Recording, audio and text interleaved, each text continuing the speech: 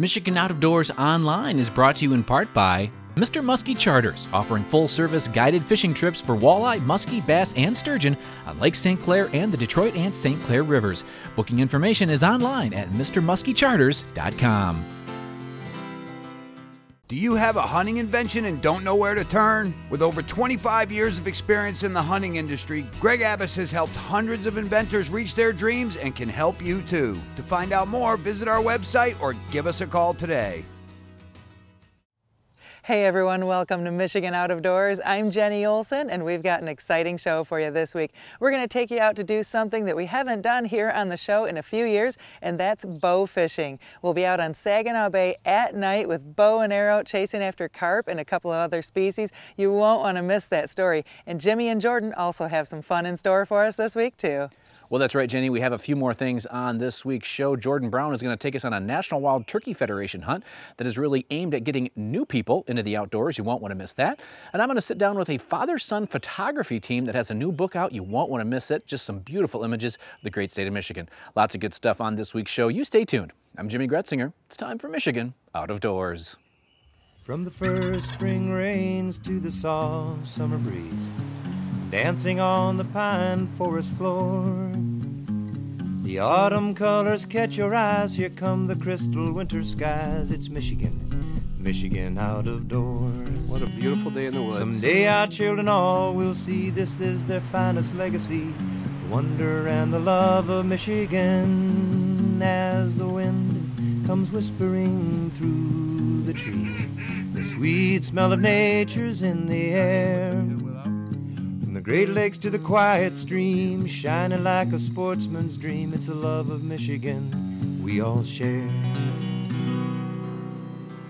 Michigan Out of Doors is presented by by Country Smokehouse, a sportsman's meat processor and Michigan destination since 1988. Offers a variety of homemade smoked meats and Michigan made products in store and online. The Country Smokehouse features an outdoor barbecue and bar. Details at countrysmokehouse.com. By Grilla Grills of Holland, Michigan, makers of wood pellet, charcoal grills, and professional pellet smokers. Grilla Grills are designed for ease of use to improve your grilling and smoking skills. More information at grillagrills.com. By AnglerQuest Pontoons, a mid Michigan company building boats for fishermen by fishermen. AnglerQuest pontoons are designed for comfort and functionality. On the web at anglerquestpontoons.com. soaking in the rich tradition of Michigan hunting for over 30 years. Vanguard is proud to sponsor our friends at Michigan Out of Doors TV.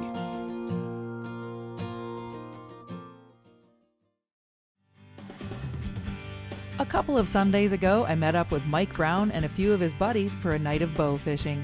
We would be launching at a public access site over in the Thumb and fishing Saginaw Bay. The guys were getting the boat set up and waiting for the sun to go down before they headed out. You can go during the day or at night. Um, obviously, we're going to be going at night as soon as the sun gets down here. Um, we got a bunch of lights set up, um, really easy. Um, don't have to have the biggest boat, don't have to have anything too special. Troll along. Um, once the sun gets down, these lights really reflect through that water and bounce off those fish really good. So you get a good sight on them, um, good show, and hardest thing setting them. So, but well, we should be able to find a bunch here, and we'll we'll get it figured out. You don't have a peep sight and a regular pin sight or nothing like that. You just it's natural instinct. You let them go. Um, there's a couple different style reels you can do. We got a spin cast style reel here. This is made by Muzzy. Um, so just like a regular fishing pole, you got your free spool, and your line will come out. And then once you hit a fish, you start reeling them in. Uh, kind of mess with your drag, really fight the fish when you get on those some big ones. Um, then the more traditional or more common um, bow fishing reel setup is an AMS style. Um, these are always on a free spool, um, so they are all. You don't ever have to worry about pushing a button or anything like that. And then when you want to reel them in, you pull this lever, um, puts pressure on the line, and you can go to town. Um, a little bit more going on with it, but definitely the more popular setup.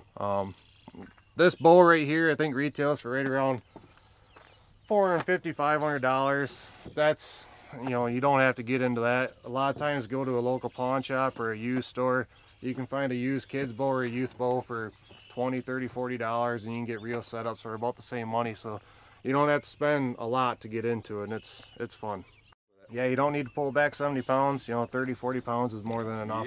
How far Uh, are your shots? You know, 10 yards is a lot. Okay. You know, At night you know, a, lot, a anyways, lot of times, if you're standing on top of that deck, there'll be Right underneath the boat. 10, 15 feet off the boat. Wow. So up close and personal. Joining Mike tonight were his hunting and fishing buddies Dave Smith, Corey Braun, and Danny Oglinski. We were starting a little earlier than normal just so I could get a few camera shots before dark. Mike says there are a couple of different ways to approach bow fishing. So when we're doing this, you know, a lot of guys bow fishing when I have airboats Fans. and uh, fans and generators and stuff. Uh, my setup, we run nice and quiet, all off batteries, get to talk and listen to the radio and everything. Um, but downfall of that, obviously, you got a trolling motor down in the water. So you gotta watch out for obstacles, rocks, sticks, um, shallow parts. But another downfall of it on top of it, if you have lines down in there, stuff can get rattled up. Um, right now, it's not quite spawning time. Um, water temp's got to get up a little bit more for that. Um, but they're just in shallows right now, just hanging out, getting ready for that. We're within 10 degrees of where they really want to start spawning and stuff. So it's uh, getting to be prime time, but not quite there. Another week or two, we should be right in it. So. As darkness set in, the guys started seeing some fish activity. There's a koi. Oh, got him, Mike. Nice shot. There you go. Awesome. So yeah, we are out here targeting mainly carp, um, gar, goldfish, um, and Quillback. dogfish, quillback, uh, and catfish if we run across them.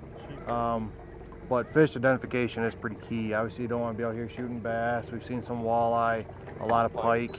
Um, those are not legal to bowfish for. Uh, you got to take those by hook and line. Out here on the water, chasing fish with bows, there's plenty of room for error. But with four guys, someone's usually there to back you up. Oh, my arrow. Stuck him, Danny. Nice shot. and that also happened.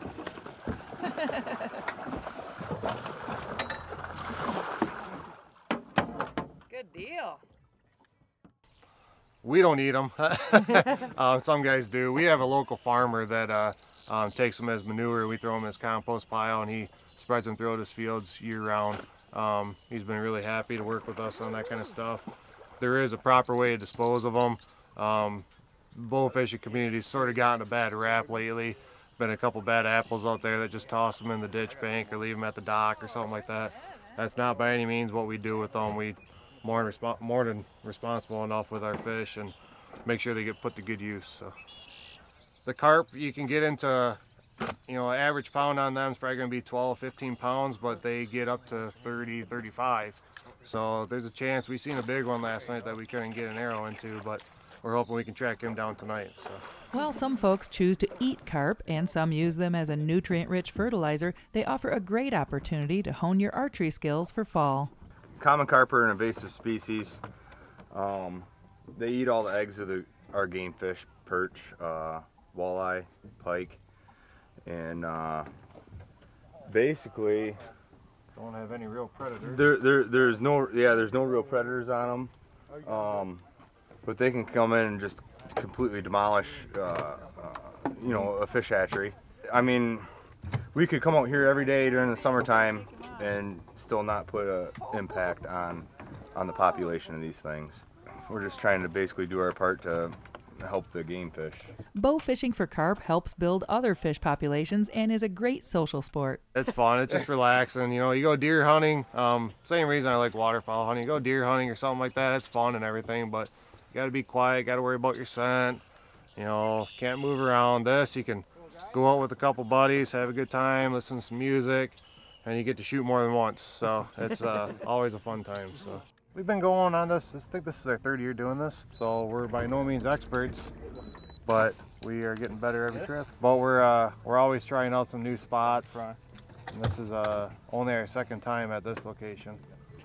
We had a little bit of a tip yesterday, came out, scouted it, shot really good, came back, and it's looking like it's going to be a pretty good barrel so far. So, looking forward to the end of the night. Do you guys try to fill that barrel up when you come? We try to. We try to. Best we can. Yep. These guys were on their way to filling up the 110 gallon barrel on board, and they were pulling off some great shots. But there's also a lot of missing that happens out here, too. Take a look.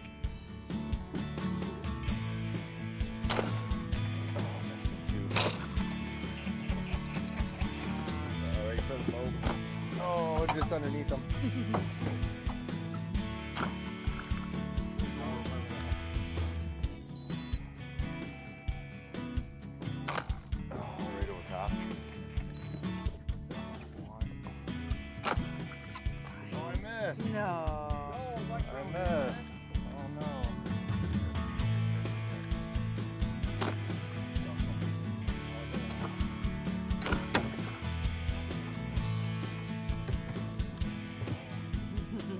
Bow fishing is a lot of laughs for sure, and Mike says there's places to bow fish all around the state.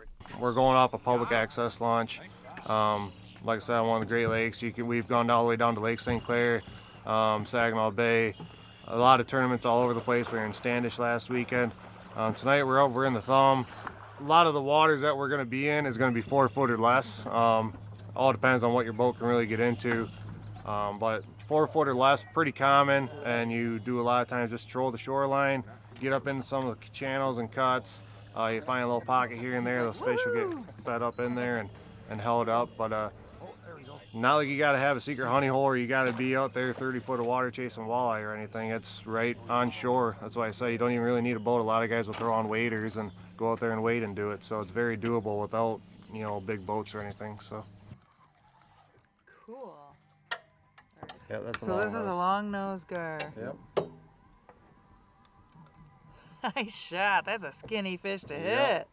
Sweet. Not much bigger than the arrow. Good job. Thank you.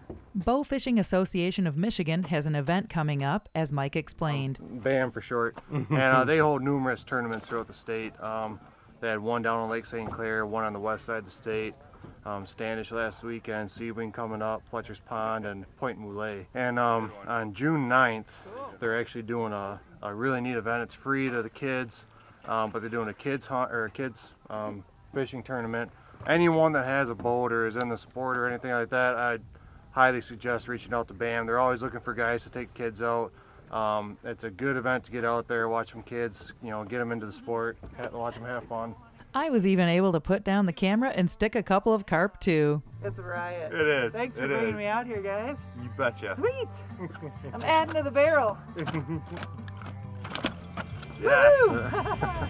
Special thanks to Mike Brown and the guys for an awesome night on the water. Chasing carp with a bow and arrow can be as simple or as complex as you want to make it. But no matter how you choose to do it, bow fishing is a great way to battle with some fish and hone your archery skills this summer, right here in Michigan's Out of Doors.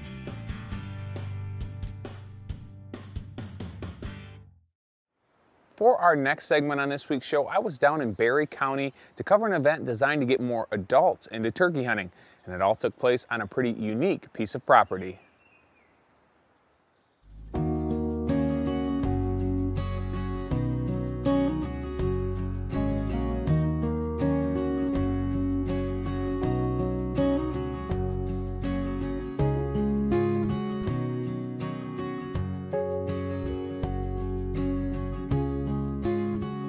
The Institute sets on 742 acres out here in Barry County, Michigan. Um, we really try to focus on, on education, environmental education. Our mission statement is to inspire um, stewardship and appreciation of our environment, so we try to do that through our, our educational programs, and that's K through 12 programming where we have uh, multiple field trips, different schools from around the area will come out here and, and visit throughout the summer and spring and the school year. And then we also have this um, undergraduate research program. So we have a consortium of colleges and universities that are part of this biological field station. That's kind of our bread and butter. That's our niche. So we're able to do research on the property and then inform land managers on how, you know, maybe best management practices, on how to restore habitat, create habitat. Um, we also operate as a nature center. So we have over nine miles of hiking trails. We're open to the public. The Pierce Cedar Creek Institute does a great job educating the next generation about the outdoors. But today we are here with a room full of adults to learn everything you need to know about turkey hunting. We brought them uh, out here at this uh, at Pierce Cedar Creek Institute. We have a lot of great uh, hunting opportunities there. Uh, we did a little seminar on uh, game laws, uh, brought in some our DNR uh, uh, conservation officers, and they did a little segment on that. Uh, we have our regional biologist, Ryan Boyer, that came in and did a segment on the biology of the wild turkey, the habitat you look for. and then we took them on, on an actual turkey hunt this, this morning. Uh, last night we sat around the campfire and just kind of worked the turkey calls and and uh, had a kind of a relaxed atmosphere. And uh, it's kind of neat for a lot of people that uh, somewhat have, uh, might be kind of intimidated because they're around professional hunters or whatever, uh, they, they get intimidated. We wanted to create that atmosphere for people to feel relaxed and learn how to turkey call.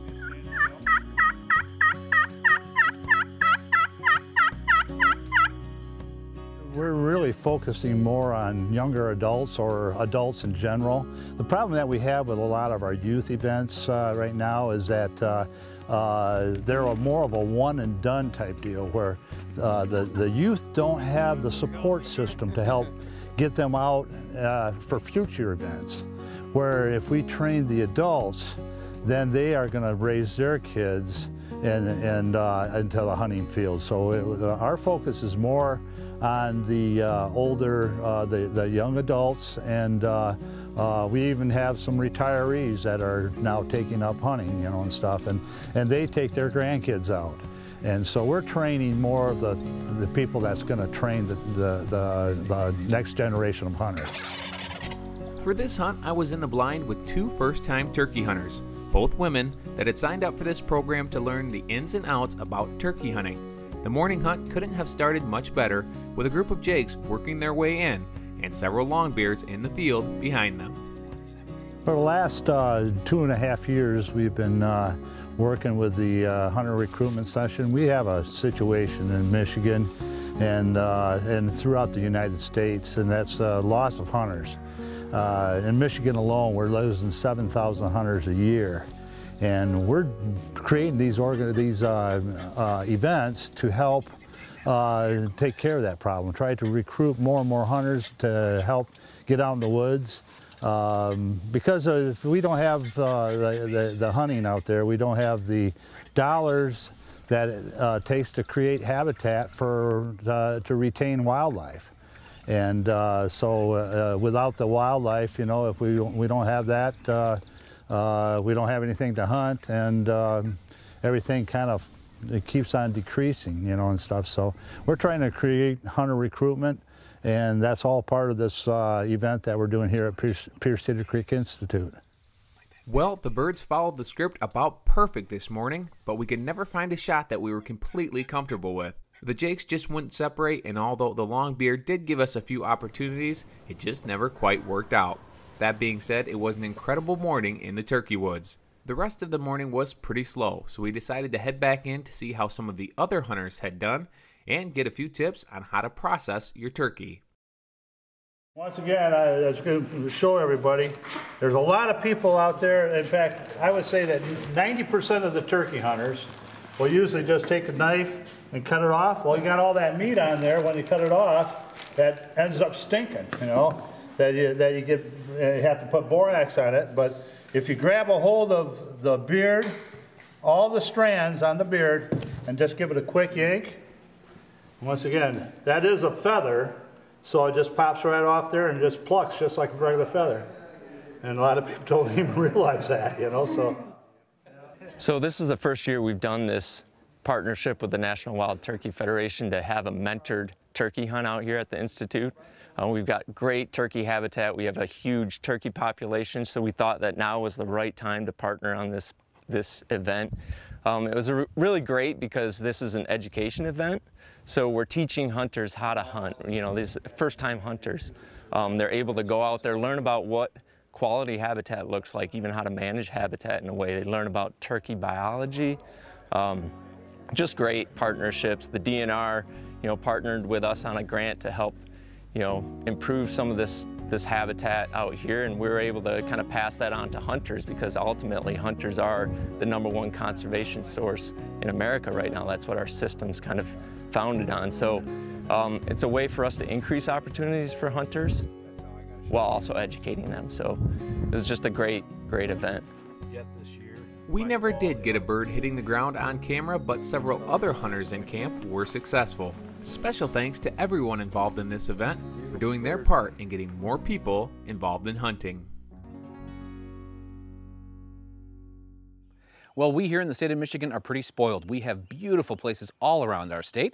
What we're going to do right now is sit down with a father and son photography team who does a really good job of capturing the beauty of the great state of Michigan. Tucked away on the main drag in downtown Ludington is a father son photography team that sees the world differently than most. Their images are amazing, so when I heard they had a new book out, I had to come see what this new venture was all about we were people that were like salmon. You know, we grew up in Ludington, Michigan. We had to come back here. We needed to live here. Our hearts were here. And so the first book obviously had to be Ludington, and then Brad's and my first book, Lake Michigan Point to Point, was Ludington area on the water. So Big Point Sauble to Little Point Sauble. So basically Ludington State Park to Silver Lake State Park. And that was home. And then after doing uh, Ludington State Park, which was like a really tight book, but one of the best places in the world. So, so we just kept uh, picking things we loved and we knew people loved. Capturing the beauty of Michigan is something these guys do so well. And anytime they have a new book released, well, it's pretty special. So for this project, uh, we go to Old Mission Point, Grand Traverse Point, Sleeping Bear, work our way south, Ludington, uh, and then on down to Holland.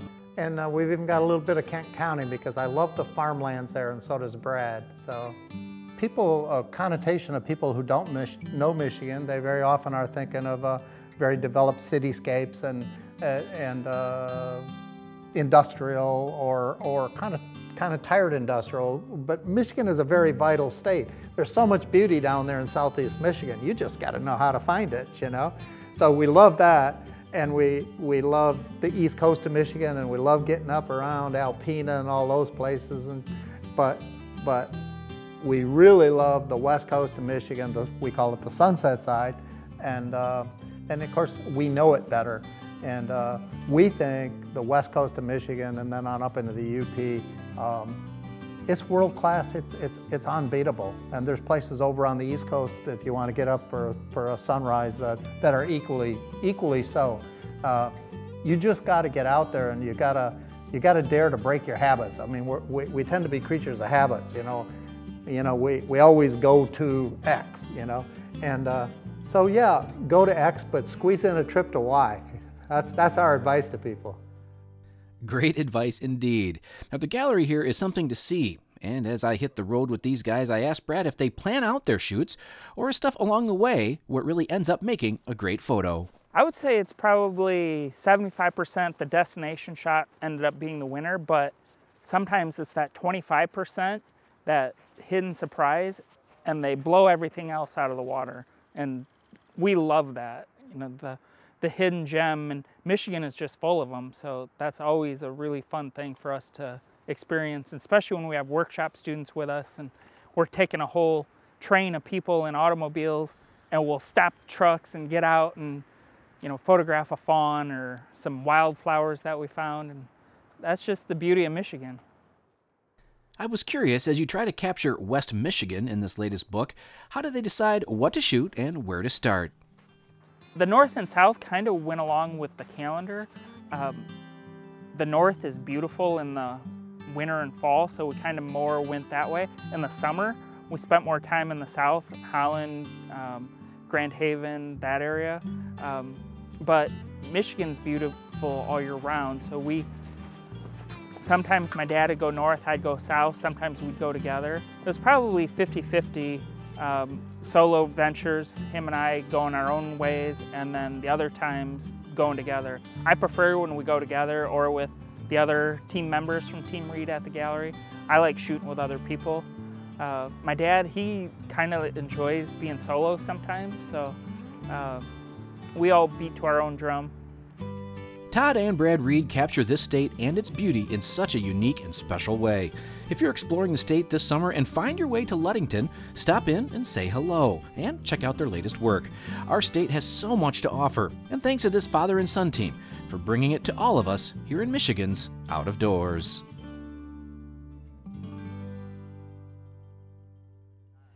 Thanks for joining us this week for Michigan Out of Doors. Make sure you stay tuned over the next few weeks. We have a jam-packed schedule for you. We'll show you some late season turkey hunting, bass fishing, walleye fishing, all sorts of fun headed your way. You can always check it out online. Well, that's right. You can check us out online anytime at MichiganOutofDoorsTV.com. We have full episodes of the show there.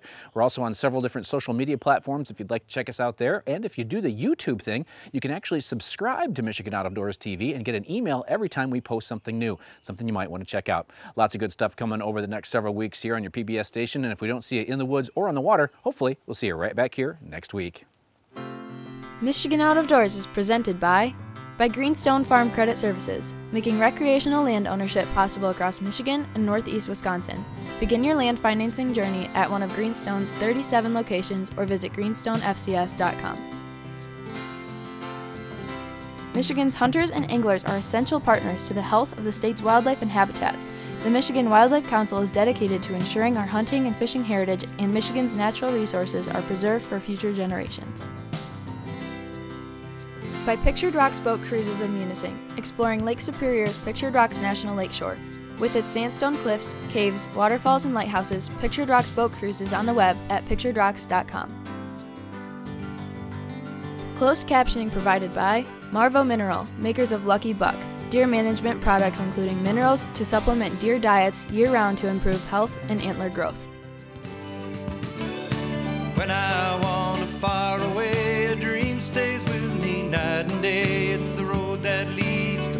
State. I am a Michigan man. Changing seasons paint the scene like rainbow trout in a hidden stream. The white-tailed deer in the tall pine trees. I am a Michigan man. I am, I am a Michigan man. Ask where I'm from and I'll show you my hands. Lord above.